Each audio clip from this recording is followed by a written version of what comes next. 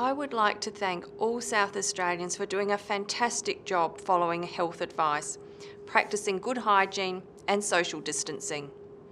As a result, we've seen the numbers of new cases of COVID-19 decrease in South Australia. Most of our cases are related to overseas or interstate travel, and evidence suggests that community transmission is relatively low in our community at the moment. In addition to all the things we've done as individuals to stop the spread, we have also imposed restrictions on our borders. We've greatly expanded our contact tracing team here in SA Health. And we have one of the highest rates of testing of COVID-19 in the world.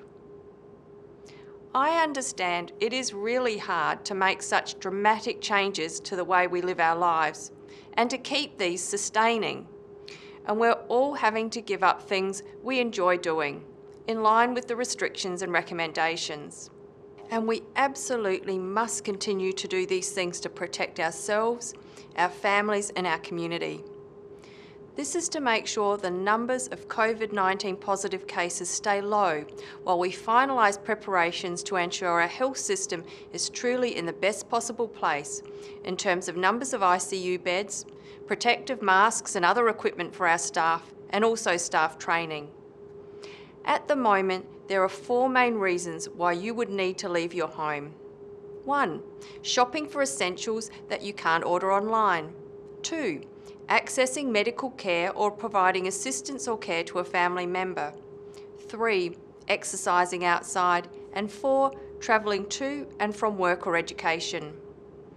And if you do need to leave the house, keep at least 1.5 metres away from other people. While in South Australia, public and private gatherings are currently restricted to 10 people with our social distancing rules, we also strongly recommend that you minimise contact with people outside your family. By doing so, we may be able to avoid the need to impose even tighter restrictions like they have done in other states. You can certainly leave the house to exercise, such as in a park or on a walking trail, but go by yourself or as your family group and keep your distance from other people. Entertaining friends at home and group fitness and even things like taking kids to the playground are things we should not be doing right now. And going away for Easter and the school holidays, even though this is disappointing, should be avoided. If you do this, you're putting yourself at risk and putting vulnerable regional communities at risk. As I've mentioned before, eating hot cross buns and Easter eggs do not increase the risk of COVID-19. And even though churches have been closed to the public, Easter is a special time of reflection for many people, and I trust that this Easter brings comfort and a sense of hope for many of us older people and those with medical conditions such as asthma, diabetes, heart disease, or people with weakened immune systems are more vulnerable. These people should be staying at home as much as possible. If you have these people in your family or community, please try and help them out with such things as dropping off groceries or collecting their medications for them so they don't have to leave the house.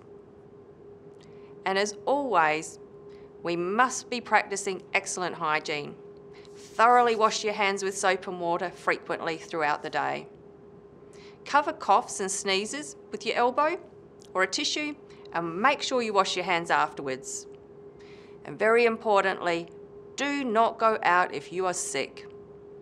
Finally, a reminder to people who are returning home from overseas or travelling from interstate people who have been in contact with a confirmed case of COVID-19 or people who are waiting for a COVID-19 test result, you absolutely must remain in quarantine as directed. This is enforceable in South Australia and you must do this to protect others. If we do all of these things, we can continue to keep ahead of the curve and avoid the tighter restrictions that have been needed in other states.